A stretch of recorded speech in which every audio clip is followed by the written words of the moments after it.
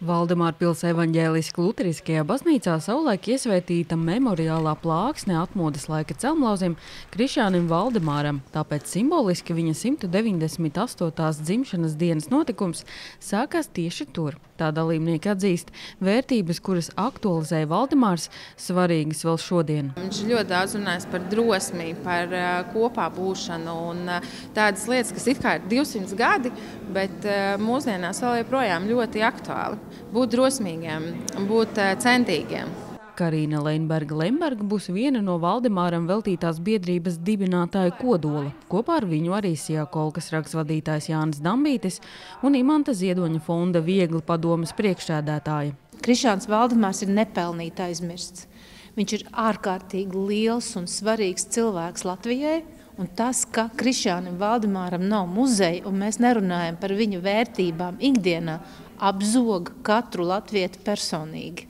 Dombiedru lielais mērķis ir izveidot Krišānam Valdemāram veltītu vietu, kur sadzīvot vēstures faktiem un liecībām, kur mācīties mūsdienu tehnoloģijas, kur skanētu mūzika, godā tiktu celta amatniecība un rokdarbi, kur satikties un mācīties. Es ļoti ceru, ka mēs varēsim nākt ar apjomīgiem skaidrojumiem, rādījumiem, varbūt pat filmu par Krišānu Valdemāru. Fonds Viegli jau izveidojis muzejus Imantam Ziedonim un Vilhelmam Purvītim, un viņi sola dalīties pieredzē ar Valdemārpilniekiem.